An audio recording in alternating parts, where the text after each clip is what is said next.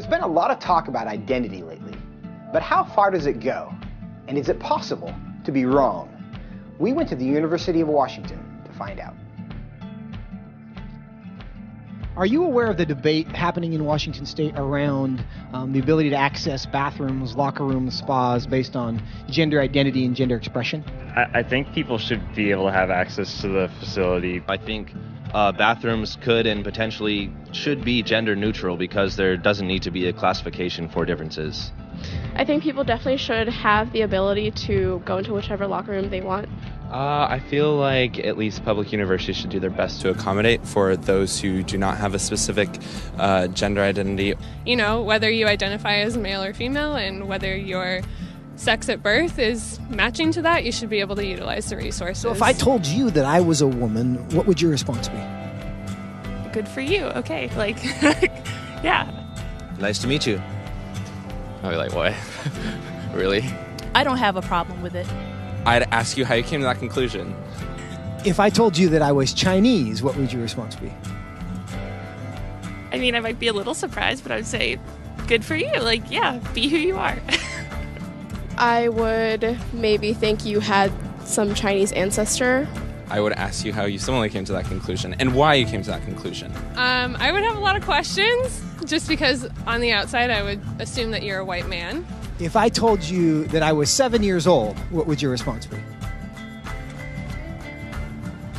Um, I wouldn't believe that immediately.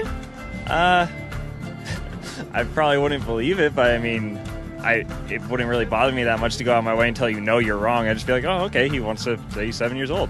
If you feel seven at heart, then then so be it. Yeah, good for you.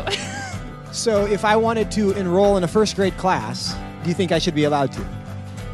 Uh,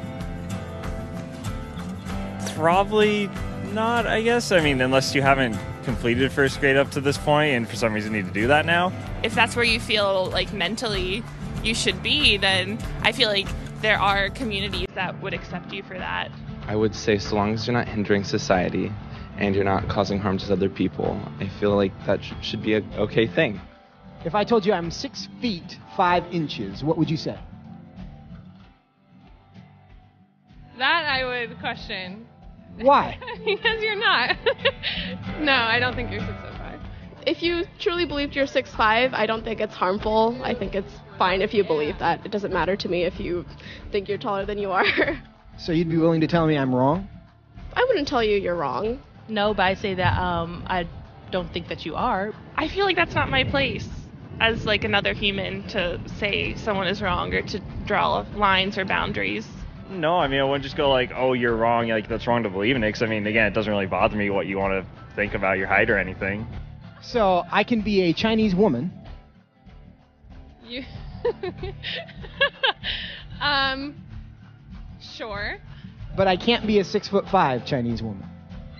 Yes.